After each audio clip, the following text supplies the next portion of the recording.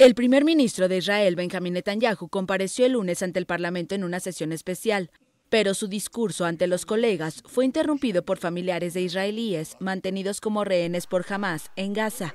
Bajo los gritos de ahora, los familiares exigieron que se cumpliera la promesa de rescatar a todos los secuestrados en el inédito ataque lanzado por el movimiento islamista palestino el 7 de octubre. Llevaban carteles con frases como ¿y si fuera tu hijo? y 80 días, cada minuto es un infierno.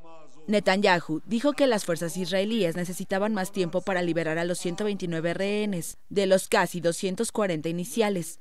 Una tregua de una semana a finales de noviembre permitió la liberación de 105 rehenes, entre ellos 80 israelíes, intercambiados por 240 palestinos, que estaban encarcelados en Israel.